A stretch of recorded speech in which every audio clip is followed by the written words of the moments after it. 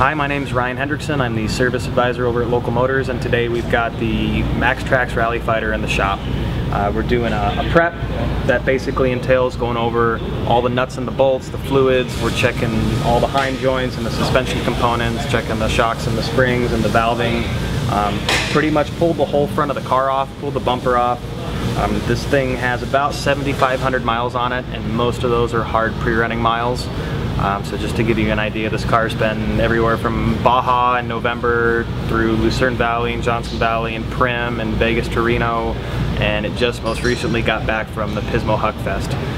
So MAXTRAX is a company based out of Australia and they make a really awesome, awesome uh, traction control solution that are basically uh, these um, orange panels that you put on the ground and they really help you to get out of any sticky situation, even if you've got a two-wheel drive vehicle. Um, I've used them in the, in the dunes before, pulling a really heavy trailer, and, and they work well for everything from pre-running to actual racing. Uh, so this specific car, um, it actually has a set of MAXTRAX pads out in the back that are mounted to the trunk.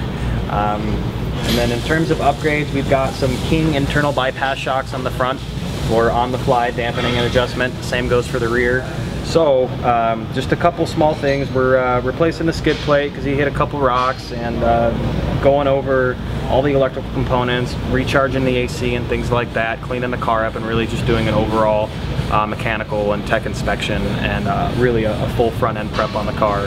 Greasing all the joints, um, changing out all the uh, transmission and engine fluids, the rear end diff fluid, inspecting the, uh, the ring and pinion and the axles and all of that, and making sure all the bearings are still good and really just making sure that uh, everything runs nice and smoothly and everything's working well.